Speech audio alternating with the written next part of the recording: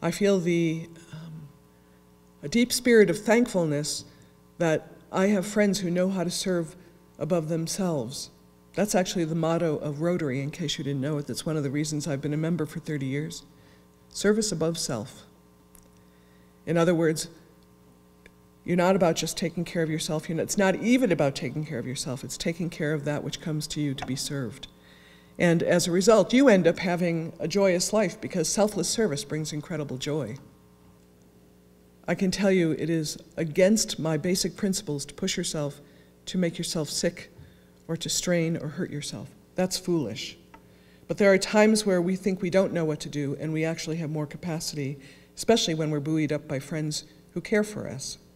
I have said many times that when I don't really know what to do, when I feel frustrated, overwhelmed, tired, do something for somebody quick.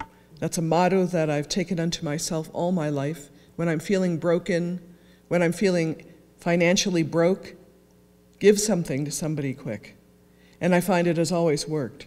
But I haven't developed as well this ability to receive, not just in the sense that, oh no, I don't need anything, I'm taking care of myself, but in the sense that people need to give, people need to find a place where they can express and commune and create together. And I need to be in a place to receive that.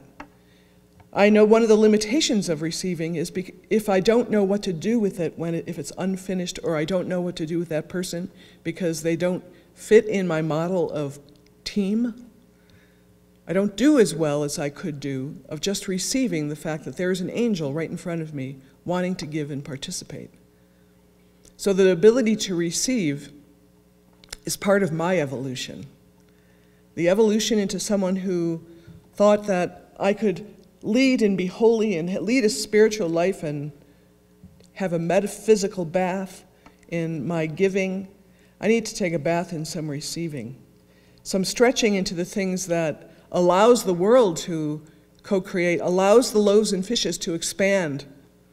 Because if I am only in the position of being generous, the loaves and fishes get gone fast. But if you're in the position of receiving, as is said in this story, bring them hither to me. Bring this unto me, and I will care for it, and I will serve it. And we will see what kind of magic will happen.